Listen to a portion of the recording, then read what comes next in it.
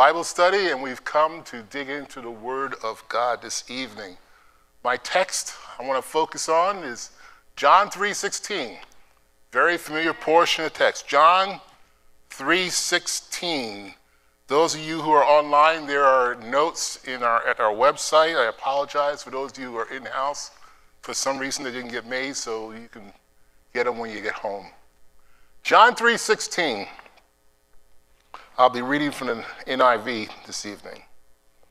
For God so loved the world that he gave his one and only Son, that whoever believes in him shall not perish, but have eternal life.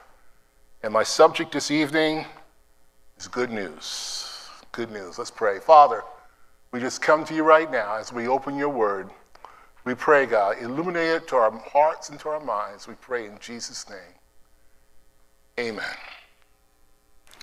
2020. What a year. Man, I need some good news. I need some good news. You know, we look around, we, we find ourselves bombarded on a daily, dare I say, hourly basis with a litany of bad news. This country, the world, has been beset by, the, by a relenting plague called COVID 19. And as a result, there's been economic upheaval that's been attributed to this pandemic. It's been affected 20 million people out of work in the United States. Miles long lines to food banks frequented by what used to be middle class citizens and greater than 50% of small businesses that have closed their door, doors never to open again. There's been government failures at all levels, and we have seen erosion of our basic safety and security needs food, shelter, health, confidence in tomorrow. And moreover, we've seen catastrophic natural events on a grand scale never seen before. Wildfires, we just had a two big wildfires yesterday, destroying millions of acres of land and with devastation of personal property. People becoming instantaneously uh, homeless after losing everything except their lives. We've seen conga lines of 20 plus horrific hurricanes that included tornadoes hitting our southern borders and then meandering up the eastern seaboard. Earthquakes swarming and occurring in highly unlike, unlikely and unexpected places like New Jersey. And let's not forget the escalating racial tension and, and division, the social unrest, the, the social injustices, and the inequality proliferating throughout the land. In addition, we've seen a host of misinformation filtering through our society from a variety of sources, some unsuspecting that they are, uh, are being played with people preferring to believe false narratives as opposed to the truth, even when it is undeniable. Folks, we are experiencing the outer bands of the Great Tribulation. And where can one turn? Where can one turn? Well, despite the fact that there is so much bad news, fake news, however you want to call it, circulating today, I do want to call your attention to some good news. And we could all pre- appreciate some good news. In fact, as I mentioned earlier, that's the title of my message this evening Good News. And so, for the next few moments, let's take a deep dive into the text, John 3 16, which will be the foundation for our learning this evening. And why John 3:16 you may ask? Well, as some of you may know, it's my favorite verse. It's my favorite life verse. And secondarily, it's also the name of the church where I was baptized in water and in the spirit. Iglesia de Juan Tres Dieciséis, John 3:16 Church in Bronx, New York, over 50 years ago. But beyond those personal reasons, I believe it is the greatest, most precise, and compact expose of God's provision for mankind. And notwithstanding that, many have unfortunately ignored God's mercy and the richness of this verse. Nevertheless, it stands as God's ultimate guarantee to you and me. You see, this verse succinctly embodies and descriptively lays out God's plan for salvation, yours and mine. And in it, we see the who, the what, the where, the why, and the how, all leading up to the ultimate outcome of salvation and revitalization of our spiritual man so that we can achieve our full potential. So let's get busy tonight. Let's unpack this great verse. John 3:16. I'm going to break it down word by word just about. And it starts off for God. It's the, the who. The first thing we talk about is the who, it's for God. And we look at that word for, and for implies that, that God had a choice. It's a choice that's over and above. He didn't have to do what he did, but he chose to do it. Jesus said over in John 15, 16, he says, But I chose you. I chose you and appointed you to go and bear fruit, fruit that will last.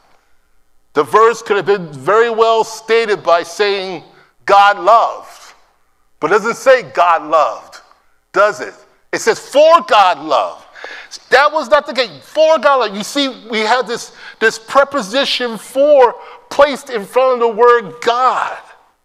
And that implies to me, and hopefully to you, intentionality that goes far beyond a simple performance of duty. All right? When we talk about for, it's something that's directed towards. Something's done to the benefit of someone else. It's intended to be received by somebody or aimed at someone. It's indicating a reason why something happens. And that's all found in that one word for, for God. And so moving forward, the balance of the verse clearly lays out why he did it, did what? Well, that's the action that's described in the body of the verse. For whom he did it, what he did, how it was to be accomplished, all culminating in a very specific outcome. So, who or what is God? I mean, we got to start there. Let's, let's go back to basics. Who is God? And I don't mean that disrespectfully, but you know, let's just quickly define who God is. You know, I, know, I know I don't have a lot of time here, but you know, let's quickly define God and, and let's describe who Jesus is, and let's try to explain the Trinity in, in five seconds or less so we can get some additional clarity as we go through this. But let's talk about God. Who's God? Well, God is the, is the all powerful, the all knowing, the ever present creator of the universe. And he's worshiped as the only, underscore, only God. As it says over in Deuteronomy 6 4, Hear, O Israel, the Lord our God the Lord is one. Isaiah 43 10. Before me, no God was formed, nor will there be one after me. And apart from me, there is no Savior. John 1 17 tells us, Jesus speaking, I lay down my life, and no one takes it from me. Let's talk about Jesus. Let's look at who he is. And Jesus Christ, is, as the word tells us, is the agent of creation. He is the embodiment of salvation. John 1 1, let's go right to the very beginning. It says, In the beginning was the Word, and the Word was with God, and the Word was God, and He was with God in the beginning, and through Him, through Him, all things, all things were made. Without him, nothing was made that has been made. In fact, in him was life, and that life was the light of men. And then we skip down to verse 29 where it says, Look, the Lamb of God who takes away the sin of the world, talking about Jesus Christ. And then quickly looking at the Trinity. The Trinity is the God the Father, Jesus Christ, God the Son, and God the Holy Spirit, the Trinity, the Godhead. And notice they are equal in association, they are all part of the Godhead, but yet they are diverse in operation. They have unique and specific roles. As we note in this verse, we have to ask ourselves the question why did God do what he did? And that brings me to our second point this evening. Because as we continue to look at the, the verse, it starts off for God, but then right after that, it says, For God so loved, right? For God so loved. Folks, every word that's used in Scripture is precious and it's vital and it's poignant. And then as the, as the Apostle Paul noted, he says over in 2 Timothy 3.16, all Scripture, not some, all right? You can't cherry pick the verses you like. You know, you can't go for the ones that make you feel good and the ones that don't make you feel good, the ones that make you feel uncomfortable. You want to push them aside. No, no, no, no. You can't do that. All scripture is God breathed and is useful for teaching and rebuking and correcting and training in righteousness. Why? So that you and I may be thoroughly equipped. If we are going to be equipped to live as citizens of the kingdom, we need to understand the scriptures. We need to be in the scriptures. So, why did God do this? Because He so loved us. God doesn't just love us as as empty words thrown around devoid of any feeling or consequence. It doesn't say he loved out of a passing fancy. Sometimes how we use the word, the term love. You know, we say we, I love you, but we really don't mean it. You know, you know, how, you know how you do that. I love you. Yeah, I don't really like you. Can't stand your dress or your, your shirt, your tie, whatever. But we say it anyway but not God. He doesn't say he loved out of passing fancy. It wasn't love of indifference. It wasn't love of no consequence. But rather, it says that God so loved, so loved. And that, that's, that word so is, is, is indicative of intensity. It doesn't just say God loved, but God so loved. He was fervent, he was intense about it. God so loved. In fact, if you look at the Amplified Bible, it renders it as He greatly loved us. This is love that is over and above. Friend, this is love without compromise. Not just love, but, but as it says in the Amplified Bible, prized love. This is love of a higher order, on a higher plane, done so without recognition. It is, it is a love where, where God gives something of great value without knowing whether anyone will accept or appreciate it. As Paul noted over in Romans 5, he says, and I love this verse. I love this verse. At just the right time. Not the wrong time, not too early, not too late. But he said, at just the right time. And what was the right time? When we were powerless, as it says. And what happened? Christ died for the ungodly. Christ died for you and for me. And it goes on in verse 8, and it says that God demonstrates his own love for us. He shows us how much he loves us.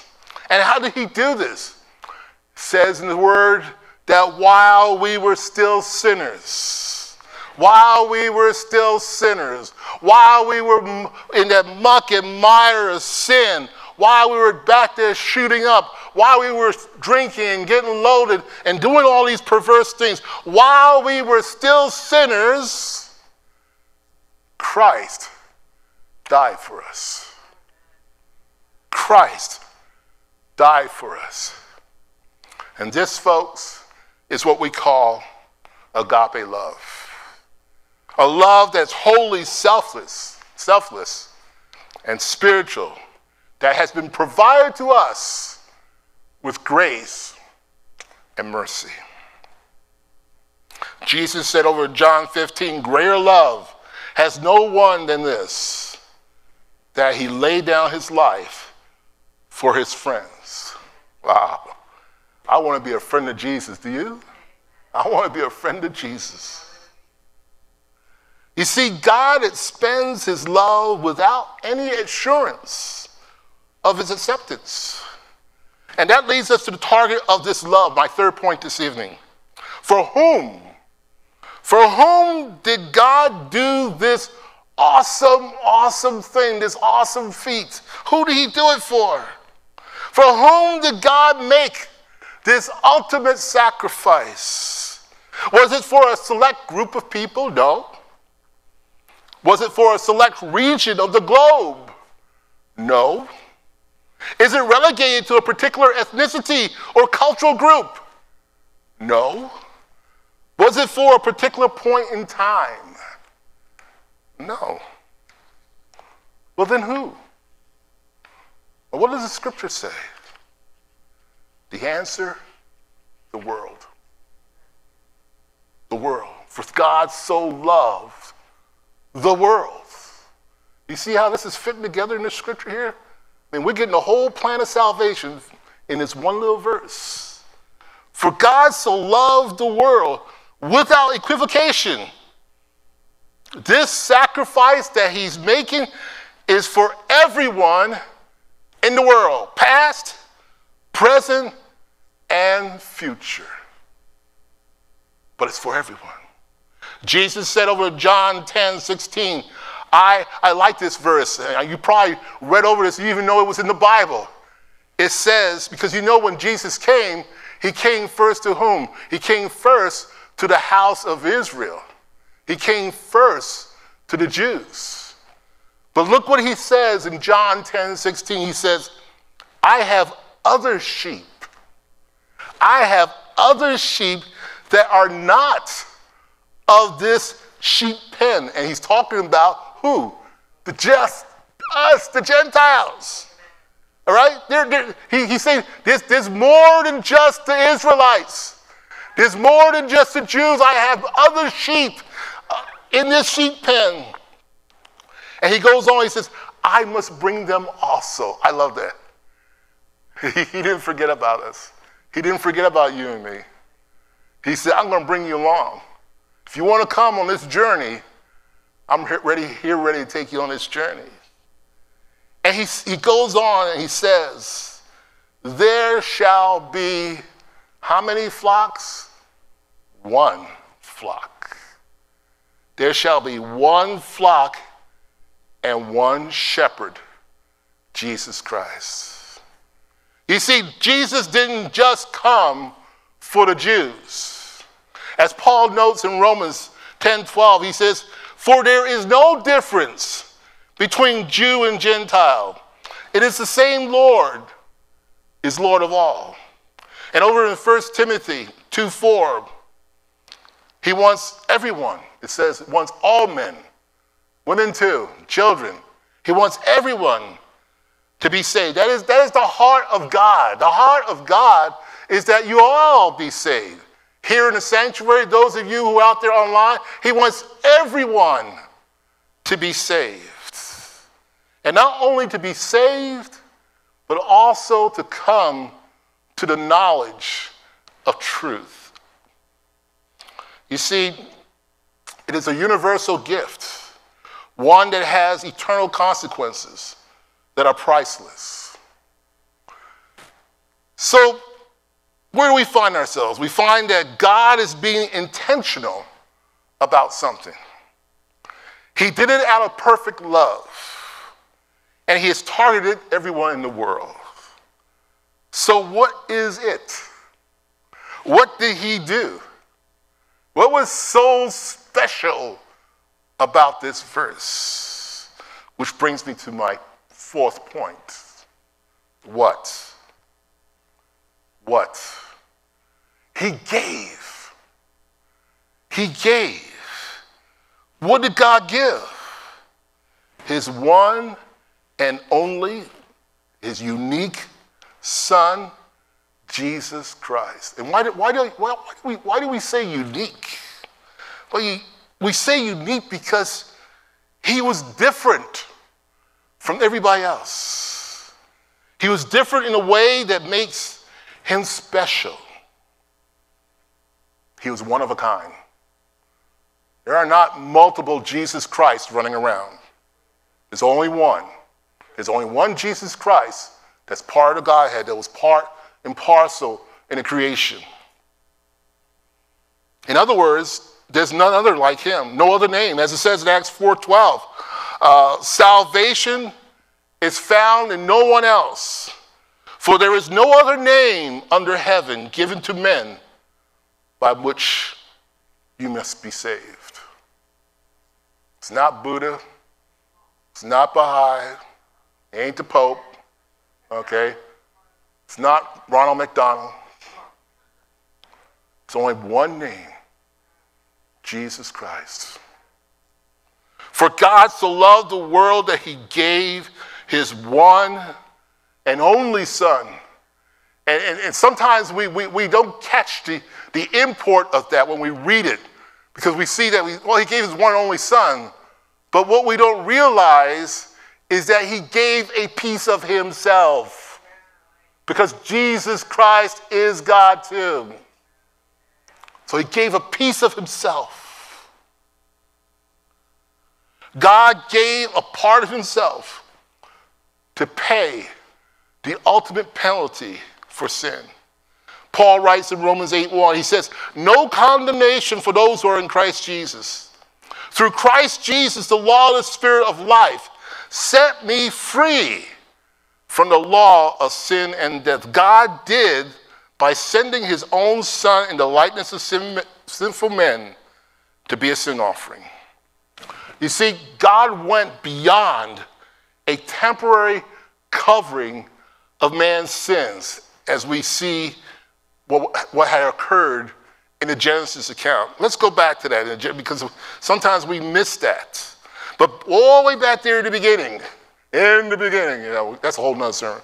But Genesis chapter 3, starting verse 6, we all remember the, the story. It says, When the woman saw that the fruit of the tree was good for food and pleasing to the eye, and also desirable for gaining wisdom.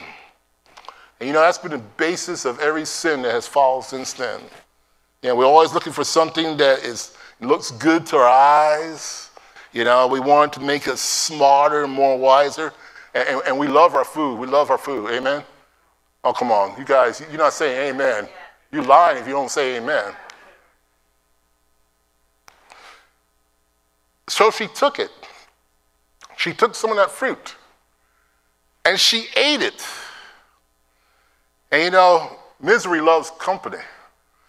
So she gave some to her husband. Now remember, before this, God had already told them to what? Do not, you, you, could, you could go anywhere you want in the Garden of Eden. I, Eden. I believe it was a, a, huge garden. Sometimes we think of garden like the little thing that we do in our backyard. No, no, no. This, this is huge. Think like Amazon jungle type huge, okay? This is huge. And they had the run of the entire garden. They could do anything they want. They can go anywhere they want. They can eat from any tree they want. God said you can have your, your like of any tree except one tree. How is it? I don't understand our human nature. when, when, you've got, when you got all the goodies around you, anything you want, and somebody says you can do anything you want with all this stuff except for that one thing. And then what, where do we focus in on? On the one thing that we can't have. Why is that? Why is that? And that's what happened with Eve and Adam. So they focused it on this one thing. And God told them, do not, do not eat of that fruit. You can have anything else. So here's Eve. She ate the fruit. And, uh, you know, she said, well, you know, let, let, let, me, let me bring Adam in on this. Pretty good. You know, this is some good fruit and making me feel good. And so she gave some to her husband. And like most men, they always do what their wives say. Amen? This is where it all started, guys. And he ate it. And the Bible says that immediately the eyes of them were opened, which is interesting because their eyes were open anyway. But it wasn't talking about physically, right? It's talking about something else metaphysical, spiritual. And they realized they were naked. Now, I don't know if you saw this, but it says in the Bible that they were naked. Well, guess what? When they were created, they were what? They were naked. I mean, they didn't come into the world, you know, with an Armani suit or anything like that. Okay? They were naked. And they were okay with that. There was nobody else around anyway, right? Who cares? They can run around their birthday suit all day long. There was nobody. They, was, they were free. You know, this was, this was a perpetual Woodstock, okay? They were naked. And so they sold fig leaves. I hope it was fig and not, you know, poison oak or anything like that. They sold fig leaves together and made coverings for themselves. And it says in verse 21 and God made garment, garments of skin for Adam and his wife and clothed them. Did you ever wonder why Adam and Eve made coverings? I always pondered that. Why, what was the rationale behind making clothing for themselves? There was nobody else there. The birds didn't care. The animals didn't care. Well, the answer is when their eyes were open, they realized that their disobedience to God's word was exposed. And they were trying to hide that disobedience. You know, it's, it's like when we sin and we try to hide our sins. Now, I think I told you the story years ago when I was a youngster back in New York, and, and one of the things that we used to do, this is, uh, this is when I was only half saved. And, and so, um, yeah, you know, sometimes you're half saved and a little bit better than half saved. But, but anyhow, uh, we, we used to go to the candy store, and, you know, being poor, uh, we didn't have a whole heck of a lot of money. In fact, we didn't have any money. So sometimes it gets hot in the summertime, so we decided to do a five finger discount. You, so you know what a five finger discount is? When you pilfer something, okay? When you, and uh, I tell you, after doing that, even though we didn't get caught, because we get this stuff we take off, head for the lot and everything else, we didn't get caught. But you know, it, it, it didn't taste right because our conscience started beating on us saying that you did something wrong. And this is what was happening in the minds of Adam and Eve because they realized they, they were, their, they, they, their, their disobedience was being exposed. And so, what did they do to try to cover up, cover up their exposure? They, they made these cheap coverings out of fig leaves. Yeah, I don't know if you ever seen a fig leaf, but it's not very durable, okay? And uh, it's, it's, it's, a mess when it gets wet, so you just don't want to hang out with that. But they made coverings with fig leaves. But God steps in and he makes them some durable garments that were designed to withstand the environmental changes that were brought on by their sin. He went and killed animals. He shed blood to cover their sin, which is a type looking towards the cross when Jesus Christ, the perfect sacrifice, would shed his blood not to cover our sins, but to completely wash our sins away. You see, God, what God did was to provide a permanent solution. And the Bible says that the end result of sin is death. But Jesus Christ came to change that outcome. We know these verses. Romans 6:23, the wages of sin is death, but the gift of God is eternal life in Jesus Christ our Lord. Romans 14:9, Christ died and returned to life so that he might be the Lord of both the dead and the living. Why, why, why, why was, why was it so important? Why was it so crucial, critical for God to give his one and only son as a sacrifice for man's sin? Why, why, why, why did he do that? Well, you see, Christ is the only intercessor between God the Father and you. There's no other intercessor you can go to. You can't go to Pastor Mike. I mean, you can go to Pastor Mike and ask him to pray for you. But you want an intercessor, you go to Jesus. Because Jesus got the hookup. Okay? He is the only intercessor between God the Father and you. Jesus Christ is the remedy, as it says in John 3. Just as Moses lifted up the snake in the desert, so the Son of Man must be lifted up, that everyone who believes in him will have eternal life. Jesus Christ is our nourishment. Uh, Jesus said in one, another place, I am the bread of life. And who, he who comes to me will never go hungry, and he who believes in me will never be thirsty. Jesus Christ is the only source of truth. For I have come down from heaven not to do my will, but to do the will of him who sent me. Jesus Christ is our Savior as it, as it says in Acts 4:12, salvation is found in no one else, for there is no other name under heaven given to men by which men must be saved.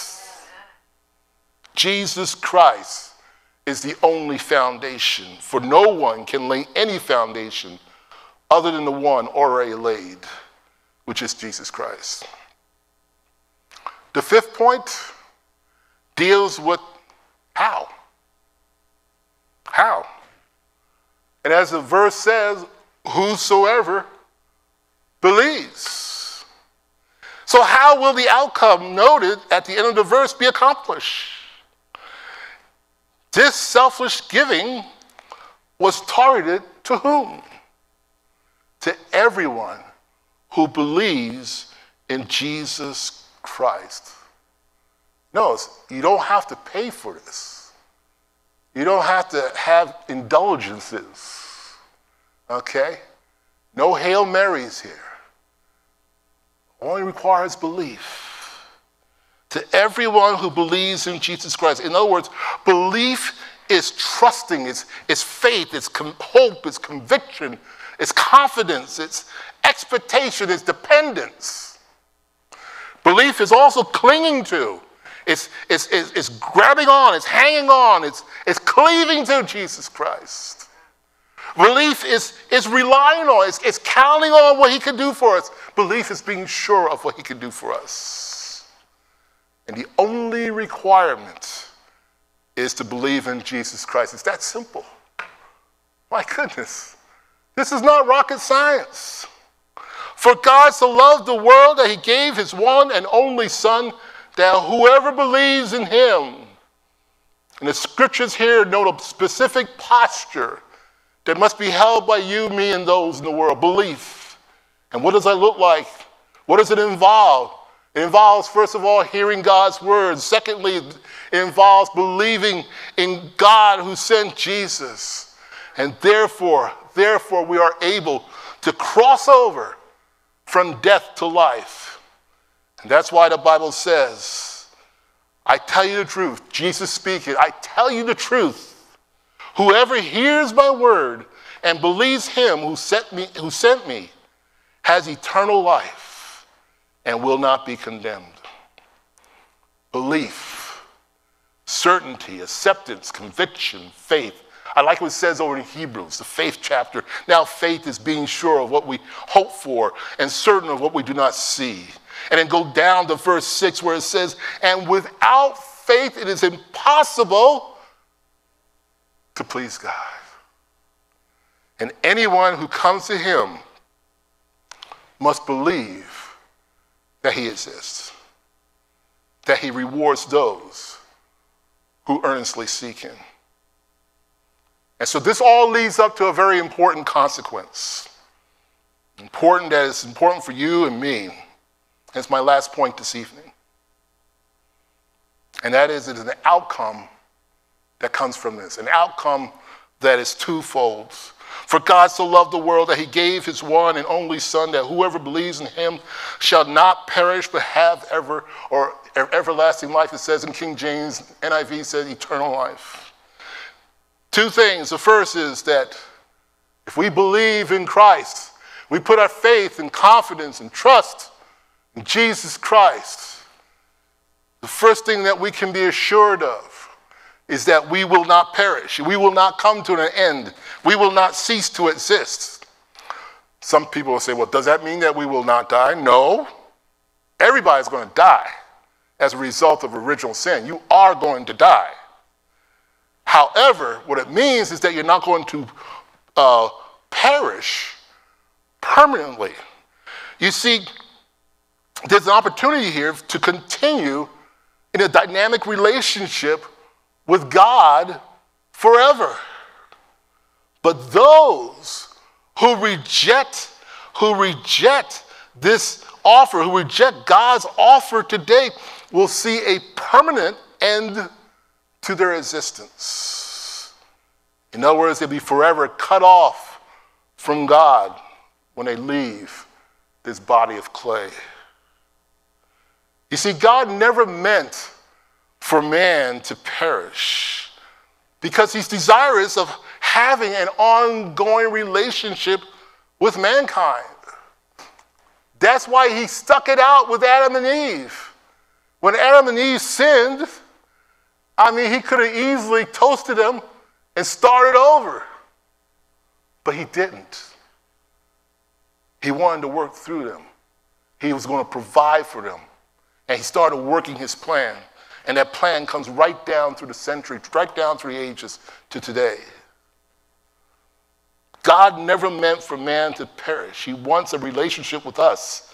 But that cannot happen, my friends, with sin in the picture. Check out some of the promises that God has put in his word for believers. He says that he will give us bodily supplies. Over in Psalms, we all know this scripture. Uh, Trust in the Lord and do good. So shalt thou dwell in the land, and verily thou shalt be fed. He gives us unlimited blessings. Jesus said everything is possible for him who believes. He answers our prayers, our requests. Every time that we talk to him, he says, Therefore I tell you, whatever you ask for in prayer, believe that you have received it, and it will be yours. He gets rid of the obstacles, allows us to become part of divine sonship. Yet to all who received him, to those who believed in his name, he gave the right to become children of God. Other, becomes, in other words, become heirs in the kingdom of God. He promises us eternal life. He gives us spiritual fullness. I like what it says over in uh, John 6:35, I am the bread of life. And we read this, he who comes to me will never go hungry. He who believes in me will never be thirsty. He provides us with spiritual lights. I have come into the world as a light so that no one who believes in me should stay in darkness. And he gives us power for service. It says over in John 14, 12, I tell you the truth, anyone who has faith in me will do what I have been doing. He will do even greater things than these because I am going to the Father. And he gives us salvation, the best gift of all. I am not ashamed I am not ashamed of the gospel because it is the power of God for the salvation of everyone who believes. First for the Jews, then for the Gentiles. So the $64,000 question this evening is this Do you have a right connection? Do you have a right connection with God? And I'm talking about have you come to the point in your lives where you have renounced your worldly views? Where you're now having faith in Christ? Where you are performing spiritual service?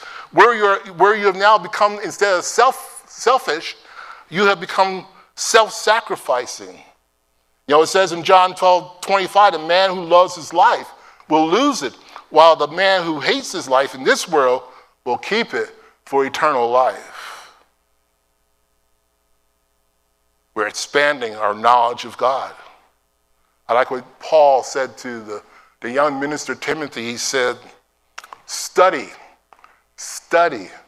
That's a word for each and every one of us. Don't put your Bible underneath your pillow and hope the word's going to leap through your pillow to your brain. It don't work. I tried it. You have to read. Study. Study to show yourself approved. All right? A workman that needeth not be ashamed, rightly interpreting or dividing the word of truth. And in sowing to the Spirit. The one who sows the Spirit pleases the Spirit. From the Spirit will reap eternal life. And the second aspect of this outcome is that not only will we not perish, but we will be recipients of everlasting or eternal life. A life that is not subject to the frailties of human existence. An eternal life not subject to the final destruction reserved for Satan and his demons, along with those who deny God's existence and reject his free gift. We see that a couple of verses down from John 3:16 where it says, Whoever believes in him, who Jesus Christ, is not condemned, but whoever does not believe stands condemned already. So if you're here or you're out there and you do not believe in Jesus Christ, you're already condemned. You need, you need to check yourself. You need to check yourself right now. And you need to make a decision. Where are you going to be? I mean, if you don't like hot weather, you better get in with Jesus. Because I can tell you, hell is going to be a lot hotter than Yuma. Whoever does not believe stands condemned already.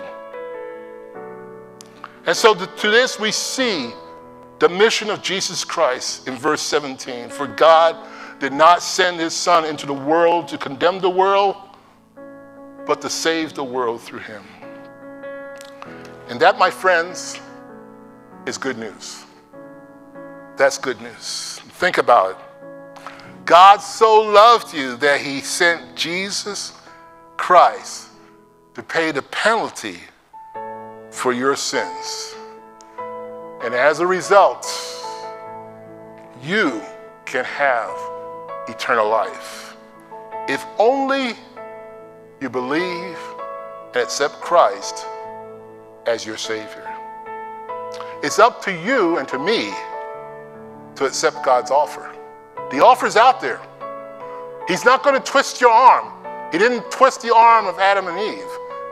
If he didn't do it to them, he's not going to do it to you. The offer is out there. The Bible says in John 3 33 through 36, the man who has accepted, accepted what? This gift has certified, has certified that God is truthful.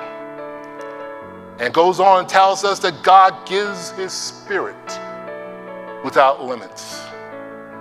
And winds up saying, Whoever believes in the Son has eternal life, but whoever rejects the Son will not see life, For God's wrath remains on him. I don't know about you, but I don't want God's wrath to be on my life. And I want to spend eternity with him. I do not want to be separated from him. So this evening, you have a decision to make.